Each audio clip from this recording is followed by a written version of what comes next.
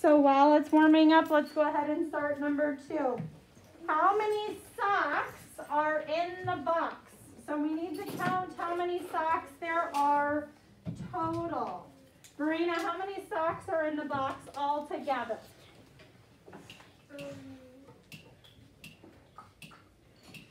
Count all the socks.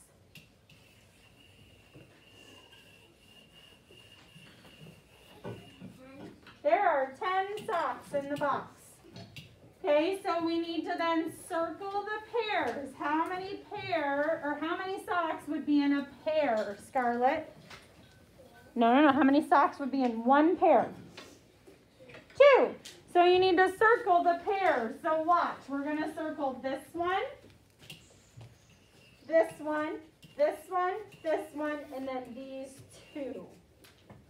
Okay, so look how we circled that. We circled it a little different.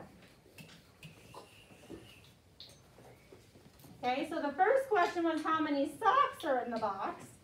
Then they asked us to circle the pairs. How many pairs of socks are there? Daniela, how many pairs of socks are there? Five. There are five pairs of socks. Whoops.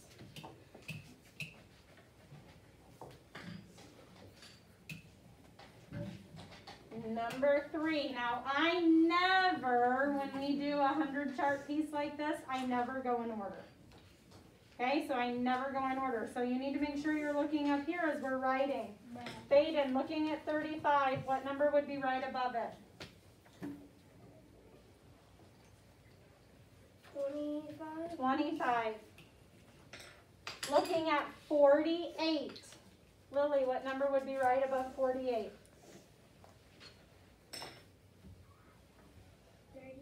38.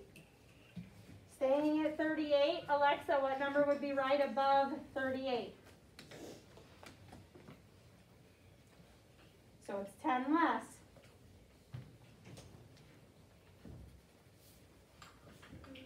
Twenty-eight. Staying at twenty-eight, what number is between twenty-six and twenty-eight? Logan? Twenty-seven. Twenty-seven. Let's finish off this top row. What number is between twenty-three and twenty-five? Leo?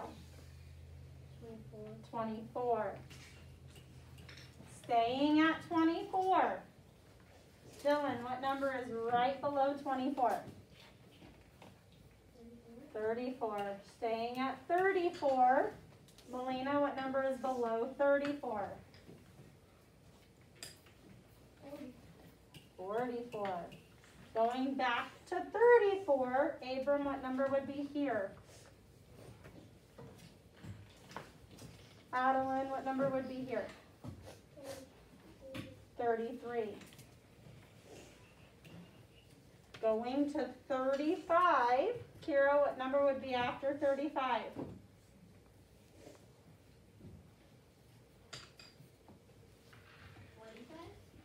After 35. I'm not going down yet, I'm just going next to. So what number comes right after 35?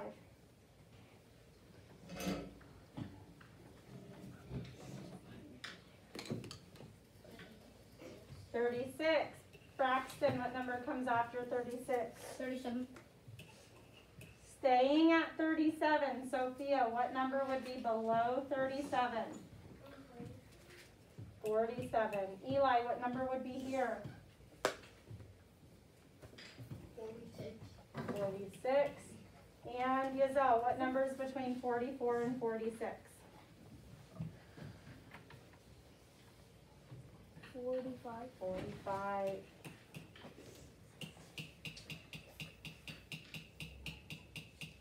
Your computer goes in order. I don't go in order. Okay, we need to divide these shapes into fourths. So we're going to divide them into four equal sections. Okay, so with my circle, I'm gonna draw a vertical line and then a horizontal line, and then I have four equal sections. For my square, we're going to draw two oblique lines to divide it into fourths. As always, ignore what comes up.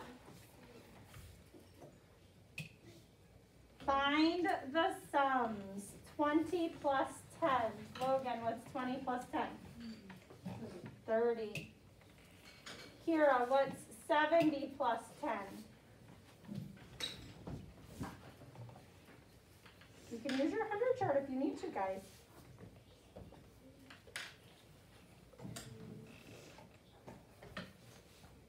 Eighty. missing addends. What number plus 2 equals 10? Adeline, what number plus 2 equals 10?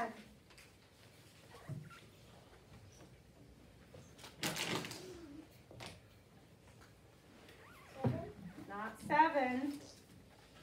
Dylan, what number plus 2 equals 10? 8.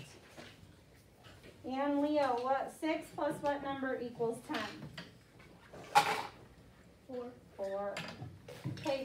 Turn your paper over. I'll read question number one two times. I think you have enough time to get your homework done before, um,